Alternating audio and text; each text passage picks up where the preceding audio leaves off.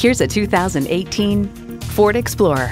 Ford has won over millions of loyal customers with a wide range of value-driven vehicles.